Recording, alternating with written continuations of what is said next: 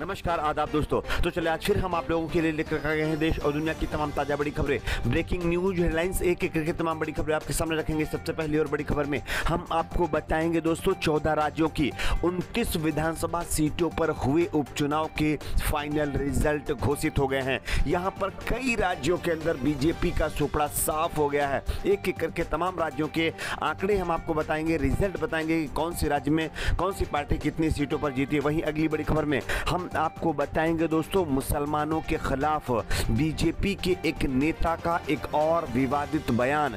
मुसलमानों को मारने की धमकी के साथ साथ कई आपत्तिजनक शब्दों का किया इस्तेमाल, क्या कुछ कहा, इसकी भी जानकारी देंगे वहीं। अगली बड़ी खबर में हम आपको बताएँगे दोस्तों, लखीमपुर खीरी में किसानों को कार से कुचलने वाले मुख्य आरोपी के पिता और देश के गृह राज्य मंत्री अजय मिश्रा टेनी की एक बार फिर से जो है धमकी भरा बयान सामने आया है। यहाँ पर दोस्तों लखीमपुर वायलेंस को लेकर के उन्होंने दूसरे लोगों को, दूसरे पार्टी के लोगों को धमकी दी है। क्या कुछ कहा इसकी भी जानकारी देंगे वहीं। अगली बड़ी खबर में हम आपको बताएँगे दोस्तों, उत्तर प्रदेश की योगी सरकार एक बड़े घोटाले में फंस गई है दोस्तों। कौन सा वो घोटाला इसकी भी जानकारी देंगे वहीं।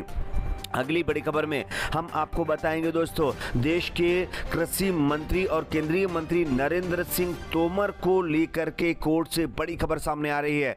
कोर्ट से उनको लेकर के ताज़ा अपडेट, जिससे बीजेपी में सन्नाटा पसर गया। क्या है? इसकी भी जानकारी देंगे। वहीं अगली बड़ी खबर में हम आपको बताएँगे दोस्तों, उत्तर प्रदेश में होने वाले विधानसभा चुनाव से पहले कांग्रेस पार्टी के दिग्गज नेता सचिन पायलट का बड़ा दावा।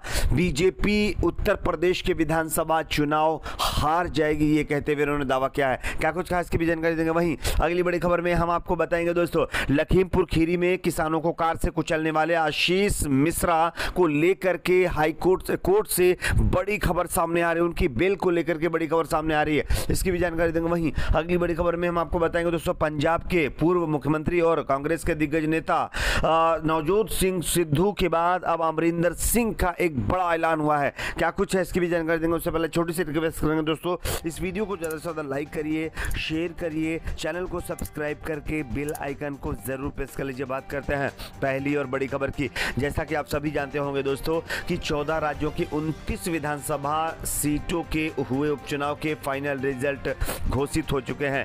रिज़ल्ट के मुताबिक अगर हम बात करें दोस्तों कि देश की जो है, तीन लोकसभा सीटों के साथ साथ तेरह राज्यों की उनतीस सीटों के लिए मतगणना जो है ख़त्म हुई और कल इसके रिज़ल्ट फाइनल हो गए हैं।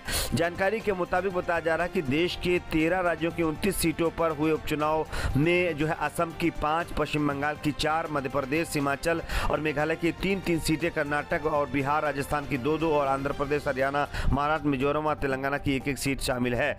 इसमें बताया जा रहा है कि जो है असम के अंदर बीजेपी पाँचों की पाँचों सीटें जीत गई है। बिहार में दोनों सीटें जो है, बीजेपी और एनडीए के खाते में गई, यानी कि जेडीयू जीती है। मध्य प्रदेश में दो सीटें जो है बीजेपी जीती है। तेलंगाना की एक, कर्नाटक की एक, मिजोरम की एक, मेघालय की तीन सीटें जो है, बीजेपी, एनडीए के गठबंधन में गई हैं। वहीं बात करें कांग्रेस पार्टी और यूपीए की तो इनके खाते में, महाराष्ट्र की एक, हिमाचल की तीन, राजस्थान की दो, कर्नाटक की एक, मध्य प्रदेश की एक सीट इनके खाते में गई है। अन्य दलों की अगर बात करें तो पश्चिम बंगाल में टीएमसी ने चार, आंध्र प्रदेश में वाई एसआर कांग्रेस पार्टी ने एक, हरियाणा में इनेलो ने एक सीट जीती है।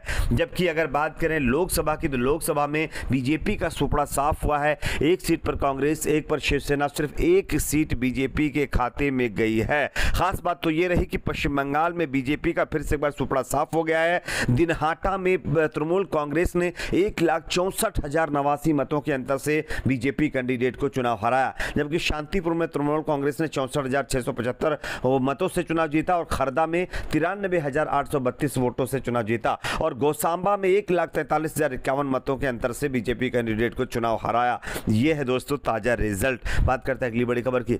अगली बड़ी खबर यहाँ पर आ रही दोस्तों, मुसलमानों को लेकर के बीजेपी के नेता का एक और विवादित बयान। आप इस खबर को देख सकते हैं, जम्मू और कश्मीर के बीजेपी नेता विक्रम रांधावा ने कश्मीरी मुसलमानों के खिलाफ नफरती और भड़काऊ बयान दिया है। रांधावा का एक वीडियो सोशल मीडिया पर वायरल हो रहा है, जिसमें वे कह रहे हैं कि जो है मार मार कर कश्मीरी मुसलमानों की खाल उधेड़ दी जानी चाहिए। जिसके बाद अब लगातार उनके खिलाफ सोशल मीडिया से लेकर के जो है मेन स्ट्रीमिंग मीडिया में हलचल है और लगातार लोग इनके खिलाफ जो है अब कार्रवाई करने की मांग कर रहे हैं। ये अलग बात है कि बीजेपी इन पर कार्रवाई कब तक करेगी। बात करते हैं अगली बड़ी खबर की। अगली बड़ी खबर आ रही दोस्तों, एक बार फिर से केंद्रीय गृह राज्य मंत्री अजय मिश्रा टीनी का विवादित बयान सामने आया है। आप इस खबर को देख सकते हैं दोस्तों कृषि कानूनों के खिलाफ धरने पर बैठे और उनको काले झंडे दिखाने वाले जिस तरह से किसानों को उन्होंने तिकुनिया वायलेंस से पहले धमकी दी थी, कुछ इसी तरह के लहजे में फिर से अजय मिश्रा टेनी ने धमकी दी है। आपको हम खबर दिखा रहे देख सकते हैं, उत्तर प्रदेश के लखीमपुर खीरी ज़िले के तिकुनिया में हुई हिंसा को लेकर के सुर्खियों में आए केंद्रीय गृह। राज्य मंत्री अजय मिश्रा टेनी ने कहा है कि तिकुनिया में हुई घटना के दौरान पार्टी कार्यकर्ताओं की हत्या करने वाले लोग किसान नहीं थे। उन्होंने दावा किया कि वे लोग बाहर से आए थे और उन्होंने इस भीड़ में शामिल हो, होकर मौके का फ़ायदा उठाया। उन्होंने आगे कहा है कि जो है जिन लोगों ने हमारे कार्यकर्ताओं को नुकसान पहुँचाया, उनकी हत्या की, उनको हम नहीं बख्शेंगे। उनके साथ वैसा ही बर्ताव करेंगे। यानी कि एक बार फिर से बीजेपी नेता, गृह राज्य मंत्री अजय मिश्रा टेनी ने खुलेआम फिर से धमकियाँ देना शुरू कर दी हैं। बात करते हैं अगली बड़ी खबर की। अगली बड़ी खबर आ रही दोस्तों, उत्तर प्रदेश की योगी सरकार एक बड़े घोटाले में फंस गई है। आप इस खबर को देख सकते हैं सीएजी रिपोर्ट में ये बड़ा खुलासा हुआ है कि एक एक करोड़ पंद्रह लाख बच्चों को अभी तक नहीं मिले हैं स्कूल बैग। अखिलेश ने जारी किया था टेंडर। बैग कहाँ रह गए योगी जी? ये कहते हुए अखिलेश यादव ने उत्तर प्रदेश की योगी सरकार के ऊपर बड़ा हमला बोला है। बात करते अगली बड़ी खबर की। अगली बड़ी खबर आ रही दोस्तों। देश के कृषि मंत्री नरेंद्र सिंह तोमर को लेकर के कोर्ट से बड़ी खबर सामने आ रही है। आप इस खबर को देख सकते कांग्रेस नेता राहुल गांधी पर आपत्तिजनक टिप्पणी कर बुरे फंसे केंद्रीय कृषि मंत्री नरेंद्र सिंह तोमर तोमर को हाईकोर्ट से फ़िलहाल राहत मिल गई है। झारखंड कोर्ट ने इस मामले में सुनवाई करते हुए इस मामले में अगली आदेश तक कोई कठोर कार्रवाई पर रोक लगा दी है। जस्टिस एस के त्रिवेदी की पीठ ने इस मामले में सुनवाई करते हुए आदेश दिया है कि अगली सुनवाई तक तोमर के खिलाफ कोई भी कार्रवाई नहीं की जाएगी। इस मामले में अगली सुनवाई बताया जा रहा है कि फरवरी 2022 में होगी। दरअसल केंद्रीय कृषि मंत्री ने कुछ सालों पहले धनबाद में कार्यक्रम के दौरान कांग्रेस संसद राहुल गांधी की तुलना पूंछ के बाल से की थी और इसी के खिलाफ उनके ऊपर मामला दर्ज हुआ था। बात करते अगली बड़ी खबर की। अगली बड़ी खबर यहाँ पर आ रही दोस्तों, एक बार फिर से उत्तर प्रदेश में होने वाले विधानसभा चुनाव से पहले कांग्रेस पार्टी के नेता सचिन पायलट का बहुत बड़ा दावा। आप इस खबर को देख सकते हैं, सचिन पायलट ने दावा किया है कि यूपी में हार का सामना करेगी बीजेपी। कांग्रेस होगी विकल्प यानी उत्तर प्रदेश में विधानसभा चुनाव बीजेपी हारेगी, ये दावा जो है सचिन पायलट ने कर दिया है। बात करते हैं अगली बड़ी खबर की। अगली बड़ी खबर आ रही दोस्तों, तिकुनिया में किसानों को कुचलने के मुख्य आरोपी आशीष मिश्रा टेनी को लेकर के जो है अब कोर्ट से बड़ी खबर सामने आ रही है दोस्तों। आशीष मिश्रा की जमानत पर सुनवाई आज करेगा कोर्ट। जेल में मनेगी दिवाली या मिलेगी बिल, इसका फैसला आज होगा। यानी कि आशीष मिश्रा और मोनू की जमानत पर आज कोर्ट में जो है सुनवाई होगी। उसके बाद यह तय होगा कि उसको जमानत मिलेगी या नहीं। बात करते हैं अगली बड़ी खबर की। अगली बड़ी खबर आ रही है दोस्तों। पंजाब के पूर्व सीएम और कांग्रेस पार्टी के दिग्गज नेता कैप्टन अमरिंदर सिंह ने फाइनली अब कांग्रेस पार्टी से इस्तीफा दे दिया है। आप लोगों की इस पर क्या है? नीचे कमेंट बॉक्स में ज़रूर बताएँ वीडियो को लाइक शेयर चैनल को सब्सक्राइब ज़रूर करें।